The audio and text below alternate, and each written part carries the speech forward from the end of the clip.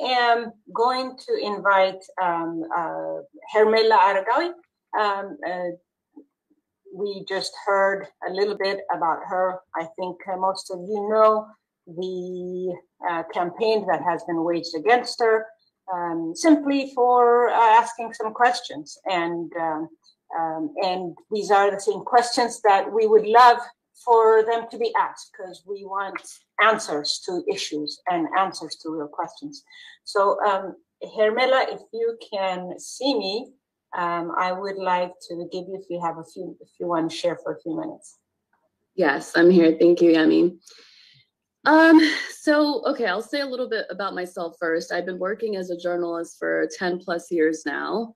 Um, both my parents happen to be of Tigrayan descent. I was born in Addis Ababa and I moved to the States um, when I was seven years old. So I grew up mostly here. So, with that said, I just want to start at the beginning of this to maybe explain to people that don't understand or people that want to understand why I came to this place I am in about my perspective on what's going on. So, in November, when the war uh, in Tigray started, it captured the hearts and minds of many of us who have connections to Ethiopia, particularly in Tigray.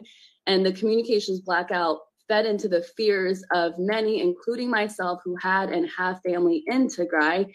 Um, and then immediately after the hashtag Tigray genocide also began, which really fed into a lot of the fears of many people. That hashtag was started by Tigrayan activists uh, that word genocide is a heavy and legally binding word. Um, and so it really fed into the fears of so many people um, like myself. And in the last 11 months, I think that word has really been weaponized to make sure that people can't ask questions about what's going on, which is really unfortunate. And the same people that are using that hashtag don't seem to be concerned about humanitarian aid being used or redirected into war. Um, they're same people that use that hashtag, at least some of them. Um, uh, and I have been in meetings where they have deterred people from contributing to organizations that were trying to send basic necessities to Tigray at the time that the federal government was in control of Mekelle. And it seemed uh, and was said that it was a political uh, a political um, strategy so that the government would not look good, so that things would not get better so quickly.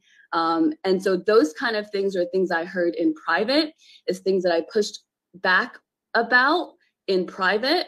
Um, and it were things that did not get better and actually ended up getting worse. And a lot of the money that was being raised was being pushed in one direction, and that direction uh, was organizations that were not being held accountable about where that money went. I would ask where it's going, other people would ask where it's going, and the answer was basically none of your business, right? So those kind of things were concerning to me at a time where people were uh, saying that they cared about the humanitarian crisis.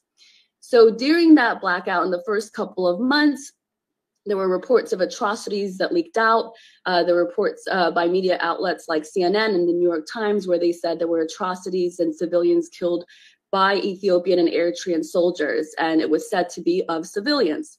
I, as a journalist, found that a little bit peculiar and suspicious and did not retweet uh, some of those uh, people who were said to have been killed by these forces because I thought that was odd to be able to corroborate that at a time of a communication blackout.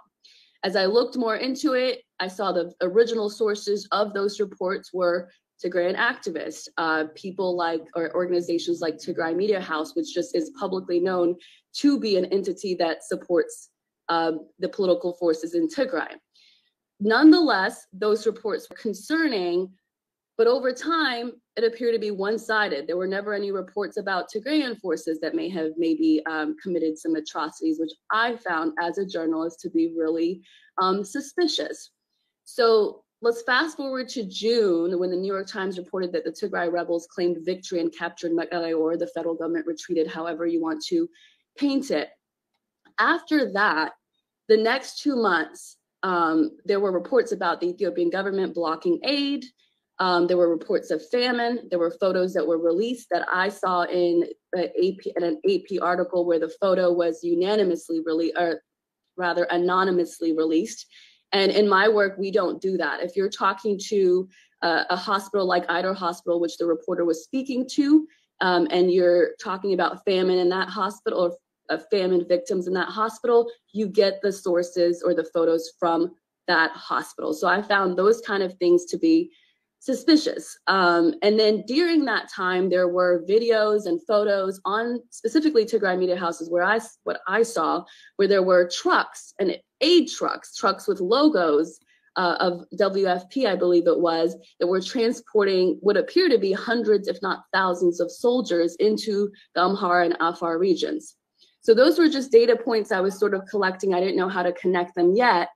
And then mid September, the UN Ethiopia talked about 466 trucks, aid trucks, that went into Tigray since July 12th, and only 428 had come out since July 12th, and we're talking about mid September. So for two months, these international aid, aid agencies could not account for 428 trucks. That in a country like Ethiopia is not a small resource. Um, and so I started to do a little bit more research. I saw that the Tigrayan leadership said it was because of fuel. Um, the Ethiopian government said they suspected that it, those trucks were being used for logistics. So I looked into it. Um, and based on what the UN itself said in terms of how much fuel went in during that time, there were, in fact, enough uh, fuel to, for them to return. So in that period, there's a September 5th BBC report that says that Tigray forces, or the uh, officials in Tigray said Tigray forces claimed they killed 3,073 enemy forces. I'm quoting.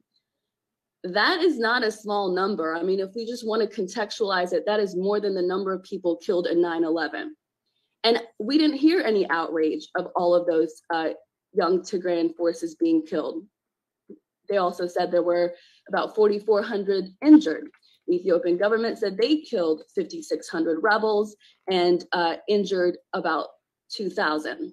So that that particular uh, those particular battles happened at a time where we could not account for nearly 500 aid trucks. I thought it was peculiar that those who claimed to be humanitarian activists didn't care about those trucks that were missing and that appeared to be being redirected to war. In fact, uh, people came at me for even asking the question, "Why are you obsessed with trucks?" Um, and and so I just, you know, those kind of things to me are so mind-boggling.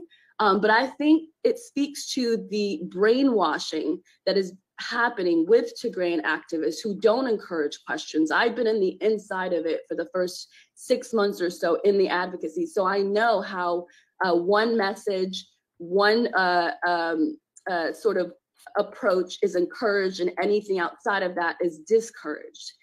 So uh, let me just move forward a little bit. Save up to 70% on your favorite brands at Nordstrom Rack. So good. Um, so that that to me was the biggest thing and so when i started speaking out um, i was actually going to stay silent i was going to say i was thinking hey let's see if this gets better um, if it gets better without me, great. Like I don't need to be involved. I've got my own life. I've got a job that's separate of this, but it didn't get better. The advocacy became very toxic. Um, it became about calling Ethiopia Shitopia. It became about, uh, you know, they're only targeting you because you're Tigrayan, and it completely disregarded these issues with the humanitarian aid and these issues of a war that was happening that was killing thousands of poor and voiceless people, is what it, it looks like. Um, and then that moves me into the harassment, which Yemi mentioned. Um, there is a petition. A petition was started to get me fired from my job at CBS LA, which I have been at for three years. Um, and it said that I was pro Tigray genocide.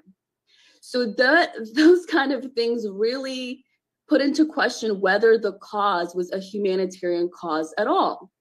And I just think um, there may be a lot of good people that happen to have Tigrayan roots that have been brainwashed and fooled that that that aren't asking these questions. And then there's a lot of people that have their own agenda, um, that have their own political ties, that are actually getting paid for the work that they do that are uh, um, being represented and paid by uh, lobby groups like I believe it's called Von Von Batten.